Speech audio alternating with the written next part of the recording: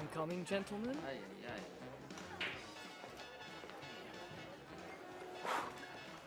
Deep breaths. Nash, you might want to stop shuffling your papers for five seconds. I will not buy you gentlemen beer. Oh, we're not here for beer, my friend. Oh. Hmm. Does anyone else feel she should be moving in slow motion? Mm. Will she want a large wedding, you think? Should we say swords, gentlemen? Pistols at dawn? Have you remembered nothing? Recall the lessons of Adam Smith, the father of modern economics. In, uh, in competition, individual ambition serves the common good. Exactly. Every man for himself, gentlemen. And those who strike out are stuck with their friends. I'm not gonna strike out. You can lead a blonde to water, but you can't make her drink. I don't think you said that. All right, nobody move. She's looking over here. Right, she's looking at Nash. Oh, God. All right, he may have the upper hand now, but wait until he opens his mouth. Remember the last time? Ah, yes, that was in the history books.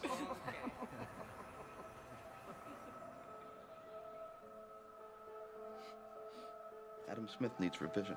What are you talking about? If we all go for the blonde,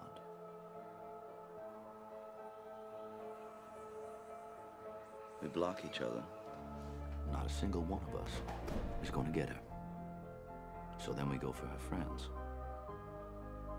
But they will all give us the cold shoulder because nobody likes to be second choice.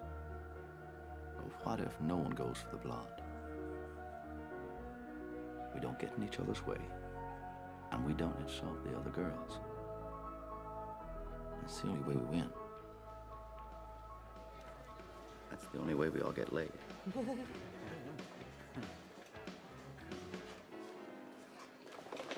Adam Smith said the best result comes from everyone in the group doing what's best for himself, right? That's what he said. That's right. Incomplete. Incomplete. Okay? Because the best result would come